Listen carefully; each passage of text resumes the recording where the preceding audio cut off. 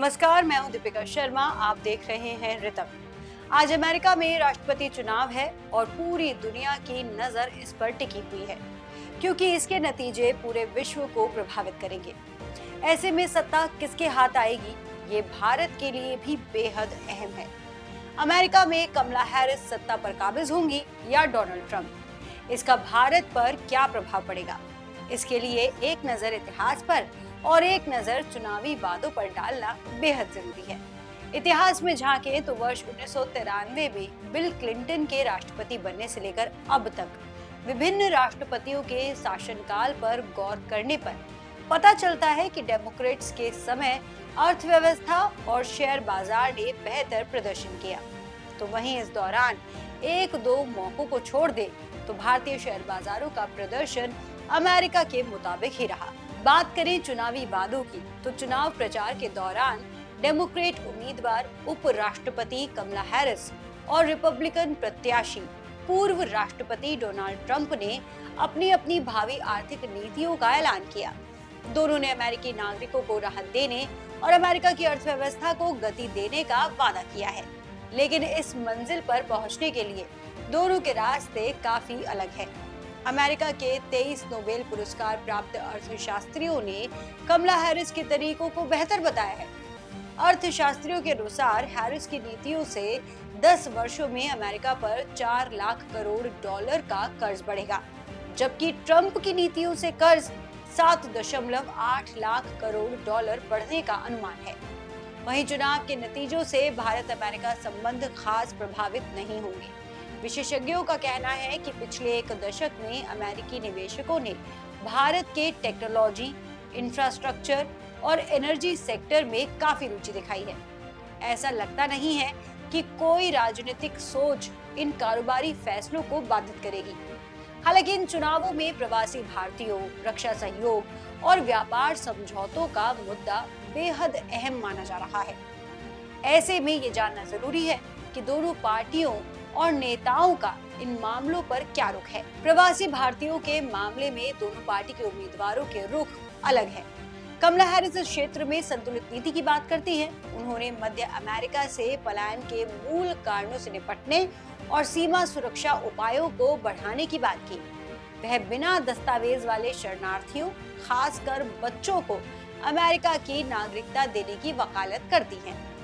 कमला Harris कुशल श्रमिक visa जैसे कि एच वन बी का विस्तार करने का समर्थन करती हैं। ऐसे में नागरिकता देने के तरीके ढूँढने सहित हैरिस का संतुलित दृष्टिकोण अमेरिका में रहने वाले भारतीय परिवारों को स्थिरता और सुरक्षा प्रदान कर सकता है इसके विपरीत ट्रंप की सख्त सीमा नीतियाँ अधिक चुनौतीपूर्ण वातावरण बना सकती हैं, जिससे भारतीय कंपनियों और लोगों के लिए मुश्किलें पैदा हो सकती हैं सख्त शिक्षा आधारित मानदंडों के लागू होने से अकुशल श्रमिकों पर प्रभाव पड़ सकता है। हालाँकि आईटी सेवाओं पर इसका कोई प्रभाव नहीं पड़ेगा। कमला हैरिस बहुपक्षीय व्यापार समझौतों और क्षेत्रीय सहयोग जैसे इंडो पैसिफिक आर्थिक ढांचा पर ज़ोर देती हैं। वहीं ट्रंप व्यापार सौदों पर फिर से बात करने और भारी शुल्क लगाने पर ध्यान केंद्रित करते हुए संरक्षणवाद का पुरजोर समर्थन करते हैं। कमला हैरिस की नीतियों से भारत के व्यापार हितों के लिए स्थिर और सहायक वर्तमान नीति में कोई बड़ा बदलाव होने की संभावना नहीं है। वहीं ट्रंप की नीतियाँ वैश्विक व्यापार में रुकावटें पैदा कर सकती हैं। लेकिन ये भारत के लिए अमेरिकी बाज़ार में चीनी आयात को चुनौती देने के अवसर खोल सकता है। कमला हैरिस और बाइडेन के कार्यकाल के दौरान इंडस एक्स जैसे पहलों के माध्यम से दक्षिण एशिया में चीन को संतुलित करने के लिए इंडो पैसिफिक साझेदारी को मज़बूत करने पर ज़ोर दिया गया। बाइडन और हैरिस ने प्रौद्योगिकी हस्तांतरण, सह उत्पादन और आपूर्ति श्रृंखलाओं के एकीकरण और तेजस मार्क टू लड़ाकू विमानों के लिए जीई इंजनों के को प्रोडक्शन पर ज़ोर दिया।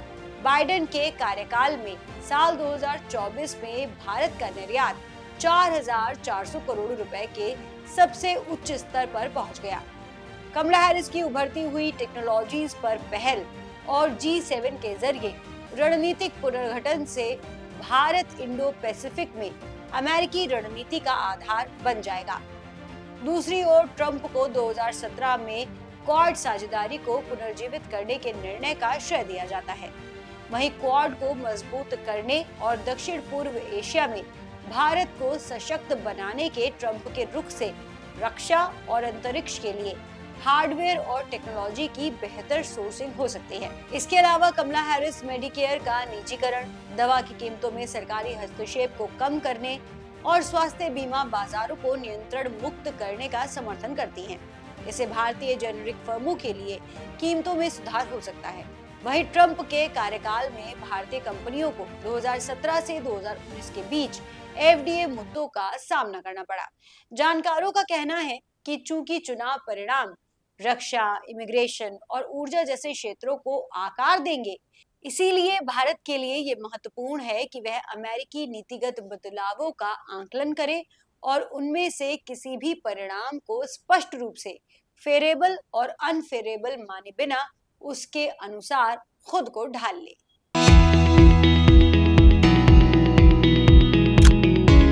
रितम मीडिया की नई ऐप आ गई है। जी हाँ देश की उभरती हुई बहुभाषी मल्टीमीडिया रितम ऐप का नया वर्जन लॉन्च कर दिया है। इस नए अपडेट के साथ मिलेंगे आपको ढेर सारे मज़ेदार फीचर्स जैसे ही आप ऐप खोलेंगे, आपको सबसे ताजी खबरों का सेक्शन लेटेस्ट न्यूज़ मिलेगा। इसमें आप देश, दुनिया की हर खबर पी और देख सकते हैं। साथ ही दिस डे इन हिस्ट्री में जानिए इतिहास की खास बातें। रितम मीडिया ने खास आपके लिए टीवी और वेब सीरीज़ सेक्शंस जोड़े हैं। अब देखिए अलग अलग न्यूज़ चैनल्स और मज़ेदार कहानियाँ। और हाँ सिटीजन जर्नलिज्म को बढ़ावा देने के लिए वीडियो सेक्शन भी है। यहाँ आप अपने इलाके की बातें सब तक पहुँचा सकते हैं। खासकर महिलाओं और युवाओं के लिए भी अलग अलग टैब्स हैं, जो उनकी पसंद और जरूरतों को ध्यान में रखकर बनाए गए हैं। तो अब इंतज़ार कैसा? फटाफट गूगल प्ले स्टोर या आईओएस पर जाइए और रितम ऐप डाउनलोड कीजिए। सबसे पहले पाइए अपडेटेड न्यूज़